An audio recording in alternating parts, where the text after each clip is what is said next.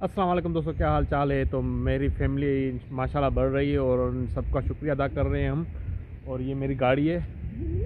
ये मेरी गाड़ी है, मैं जद्दा में आया हुआ हूँ। तो आज फ्राइडे का दिन भी है तो मैंने नहा धो लिया है और क्योंकि हमें नमाज़ के लिए जाना पड़ेगा, बस दस पंद्रह मिनट ही रह गए हैं। तो माशाल्लाह, आज मैं इस एक ऐसा टॉपिक छेड़ने वाला हूँ कि इंशाल्लाह आपको मज़ा आ जाएगा।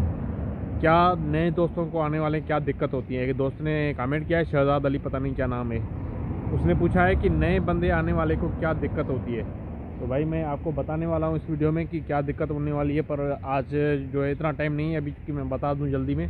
मैं जा रहा हूँ नमाज़ के लिए और नमाज़ पढ़ने के बाद इंशाल्लाह मिलेंगे।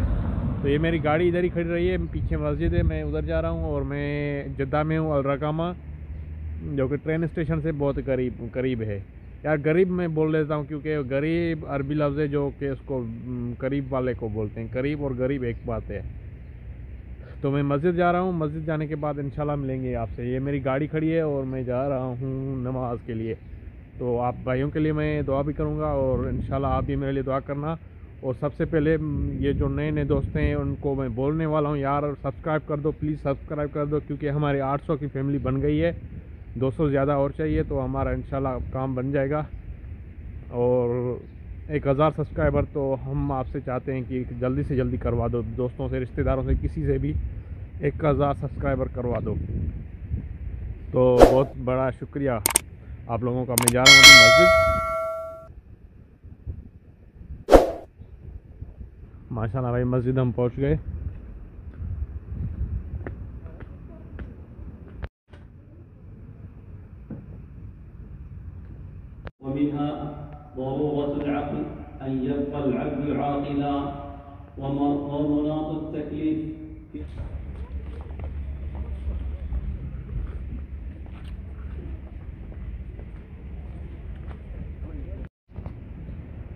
हाँ तो भाई लोग मैं नमाज अलहमदिल्ला पढ़ कर के अब वापस आ गया और आप लोगों को जुमा मुबारक हो और आप भाइयों के लिए दुआ की मैंने अपनी फैमिली के लिए दुआ की तो सबसे पहली बात यह कि मेरा रूम खुला हुआ पड़ा है।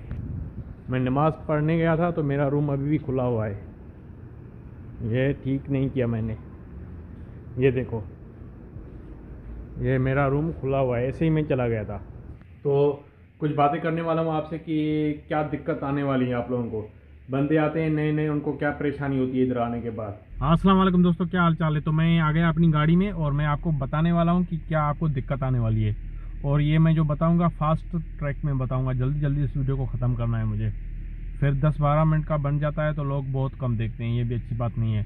और सबसे पहले मैं जो वीडियो शुरू करने वाला हूँ तो मैं आपसे रिक्वेस्ट करता हूँ कि आप मेरे चैनल को जल्द से जल्द सब्सक्राइब करें और एक हज़ार सब्सक्राइबर तक पहुँचाने में मदद करें। दोस्तों को, रिश्तेदारों को जो भी है, उनके साथ शेयर करें वीडियो हमारा। तो अच्छा मैं बताने वाला हूँ, आपको क्या दिक्कत आने वाली है। भाई, जब मैं आया था तो मुझे एक महीना पहले रूम ही नहीं था।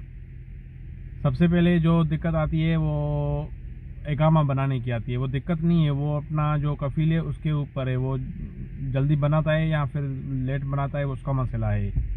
अच्छा दूसरी दिक्कत क्या है कि लेसन्स बनवाना। लेसन्स बनवाने के लिए सबसे पहले दिक्कत यही है कि कंप्यूटर पास करना आना चाहिए। अगर आप कंप्यूटर पास करने में कोई दुशवार है तो फिर जितनी बार फेल होगी, उतनी बार आपको एक सौ रियाल देना पड़ेगा। एटी सिक्स रियाल है, यानी छियासी रियाल। तो हर अटैम्प्ट यानी कंप्यूटर फेल होने के बाद छियासी रियाल आपको देने पड़ेंगे, फिर आप कंप्यूटर टेस्ट देने जाओगे। आठ, दस दफ़ा फेल हो गए, फिर भी आपको छियासी रियाल देने पड़ेंगे उतनी दफ़ा। तो लाइसेंस बनवाने के बाद अलहमदिल्ला कोई दिक्कत ख़ास नहीं है, पर मेरे साथ बहुत दिक्कत थी, मेरे पास रूम नहीं था, और लाइसेंस बनवाने में कोई दिक्कत नहीं की, पर लोग आठ आठ, दस दस दफ़ा भी फेल हो रहे हैं। और मेरा भाई जो है, दो दफ़ा कंप्यूटर में फ़ेल हो चुका था, फिर मैंने पैसे देकर उसको पास करवा दिया। और अलहमदिल्ला उसके पास अभी लाइसेंस है और हम ढूंढ रहे हैं, कहीं ना कहीं पर उसको लगा देंगे काम में। तो यही थी सारी दिक्कत जो मैंने आपको बताई। और ख़ास दिक्कत नहीं है, अगर आपको रोड के बारे में पूछ रहे हो कि क्या दिक्कत है तो रोड में भाई आपको अगर सबर है तो कोई मुश्किल नहीं है। रोड पे ऊपर गाड़ी बहुत रश होती है, आप सबर करके चलाओगे, कोई मुश्किल ही नहीं है। जब आओगे तो आपको एक दो दिन, यानी एक हफ़्ता भी लग सकता है आपको मतलब मुश्किल गाड़ी चलाने में, समझने में, फिर कोई है यार वैसे इंडिया पाकिस्तान बांग्लादेश से ये वाली गाड़ियाँ ईजी है चलाने में। बस यही कहना था मेरा आपके, आपको, और आपसे सब, आप सब दोस्तों से मेरी रिक्वेस्ट है कि मेरे चैनल को सब्सक्राइब भी करें और आगे शेयर भी करें, और एक हज़ार सब्सक्राइबर तक के लिए जल्द से जल्द पहुँचा दें और इस चैनल को तो इस वीडियो को तो लाइक ज़रूर करें। हम मोटिवेट होते हैं और हमें वीडियो बनाने का दिल करता है। तो यही है, हम जाते हैं अभी रेस्टोरेंट पे और उधर कुछ ना कुछ लेके खाने के लिए। तो इस वीडियो को इधर ही वाइंड अप करते हैं। इन मिलेंगे नेक्स्ट वीडियो में।